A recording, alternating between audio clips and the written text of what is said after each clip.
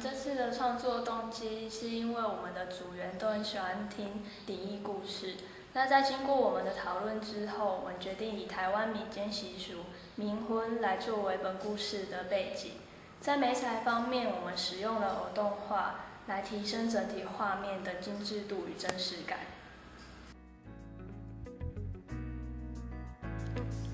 在收集资料的过程中，我们查询关于冥婚的史料及报道，也找了一部台湾味的偶动画短片，由作者季雅云制作的《神珠》，参考了场景及角色的部分。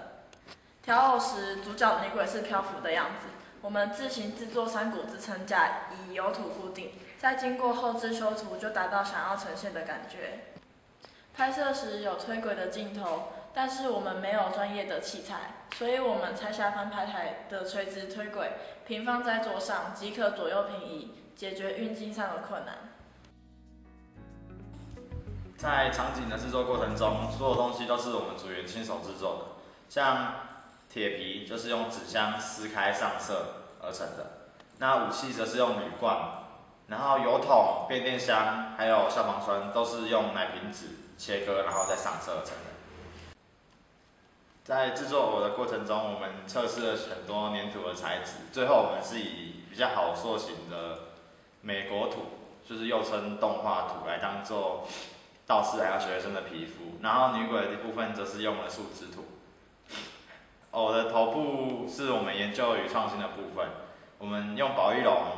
破半，就来当成它头部，然后用塑钢土做眼睛，再放进去，这样子它眼睛就可以转动。然后头发部分是用毛线上色风干，然后再把它撕开一条一条，这样子会比较达到真实的效果。专题制作的时候，为了更了解传统建筑，我们利用展演实物课程搜寻 Google 地图，帮助我们在场景的设计与制作。而在专题制作课程上所使用的软体，我们运用 Photoshop 来制作海报。After Effects 制作片头的数位剪拼动画及使用遮罩修图，最后则使用 Premiere 来配音乐音效及串片。第一种是偶动画的制作技巧，再来是作为故事背景的冥婚习俗，最后是我们故事带到的不以貌取人。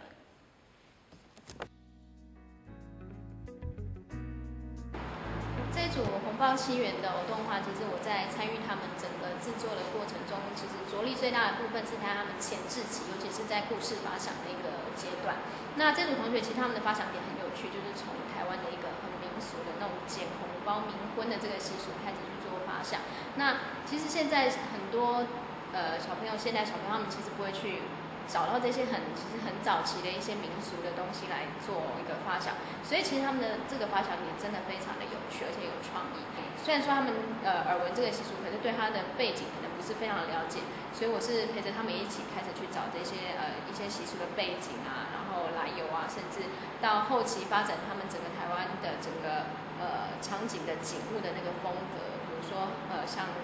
台湾常见的那个铝皮的街景啊。然后电箱啊等等的，那把他们整个片子营造的非常有台湾味。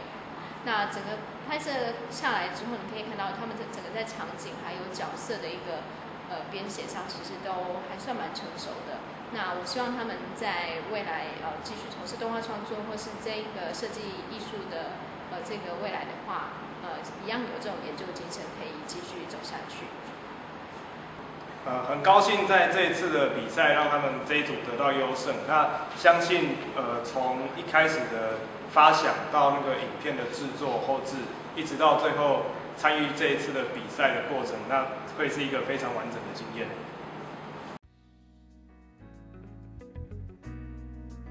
很高兴我们红包新人这一组入围一百零三年全国专题制作，荣获优胜。在动画的制作过程，我们学习到团队合作及沟通的重要，同时也了解自己制作方面的不足，想出问题的解决方法。这个过程是我们学习到最多的。在未来，我们会持续研究偶动画制作及拍摄技巧，秉持着努力不懈的精神，创作更精彩的动画。